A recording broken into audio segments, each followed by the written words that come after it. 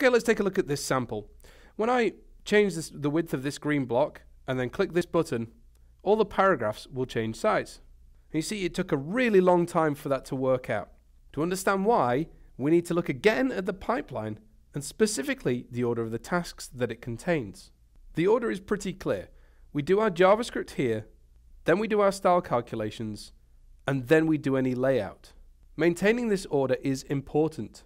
And this is the code. First, we select all the paragraphs, and then the green block. And then we step through each of the paragraphs in turn. For each paragraph, we request the green block's width, and then we set the width of each paragraph to match. Now the problem is this. To answer the question of the element's width using offset width, the browser must first calculate it, which requires layout. But see what that does to the pipeline. It moves the layout task into here, and that puts the layout before the style calculations. Now this is not a problem unless you now make a style change, which we did when we set the width of the paragraph. Look again at the code. We request the width, and then we set a style.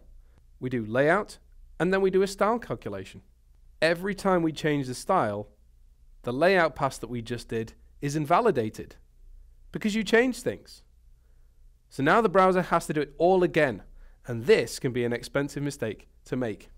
If you trigger a forced synchronous layout, DevTools will denote this with this little exclamation mark here.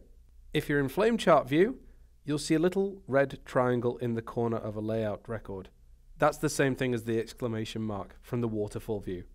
If you see this warning, then you need to look at where it was forced in your code and remove it.